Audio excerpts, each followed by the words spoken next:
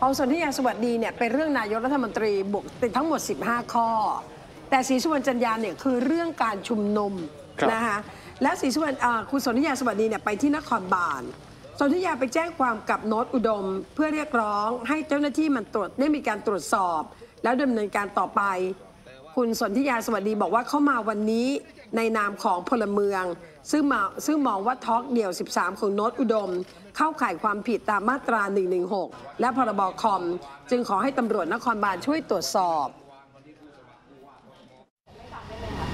กรณีการพูดเกี่ยวกับการชุมนุม ซึ่งจะไปอ่านมาตรา 116 ทั้ง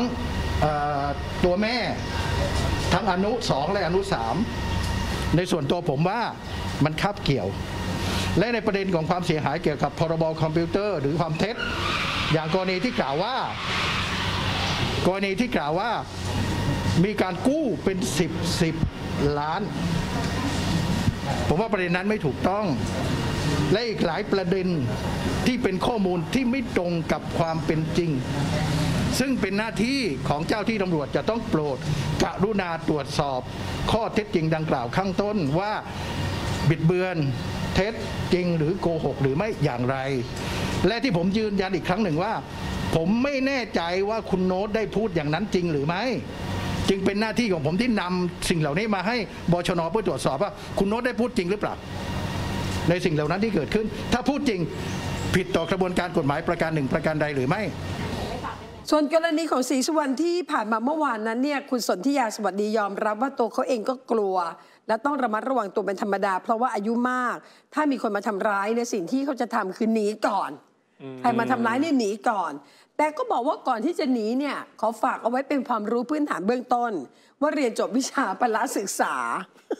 ก่อนหนี้ ก่อนนี้ขอบอกก่อนว่าผมจบพละครับแล้วสอนหลักสูตรการต่อสู้ทุกอย่าง เป็นครูสอนด้วยนะ เรียนจบพละสอนหลักสูตรการต่อสู้ เช่นเทควันโด มวยไทย มวยสากล เคยต่อยมาแล้วสี่ครั้งน็อกทุกราย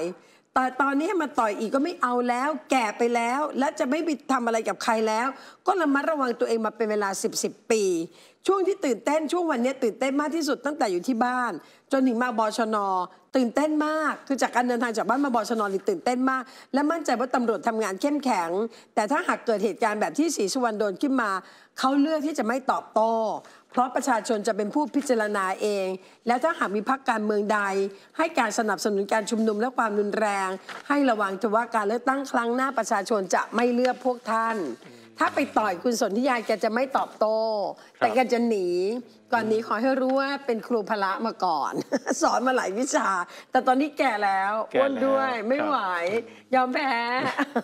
ขอให้ต่อยโดยดี ให้ต่อยโดยดุษฎีทีนี้จุดเริ่มต้นของศรีสุวรรณจันยาเนี่ยเมื่อวานศรีสุวรรณจันวันนี้เขาไปนครบาลใช่ไหมอันนี้นครอันบาลนี้นครบาลพี่สนธิยาสวัสดีส่วนส่วนเนี้ยสวัสดีอะนครบาลครับแต่ศรีสุวรรณจันยาไปที่ที่กองปราบเพ กองราะว่าปราบ ที่กองปราบจะมีศูนย์รวมของหน่วยงานสังกัดกองปราบทุกส่วนและปอค่ะทอยู่ที่นั่น